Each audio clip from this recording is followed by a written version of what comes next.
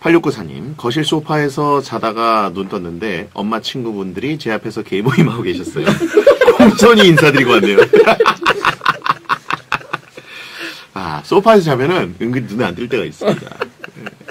엄마가 투명인가 취급했네. 그러니까요. 어, 어, 아, 우리 애가 자네. 여기서 합시다. 개모임하고 막.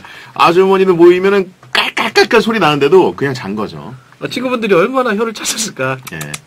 아, 막 어디 괜히 극적극적하거나 어, 뭐 분출하거나 그러지 않으셨길 바랍니다. 가구 같은 내 얼굴.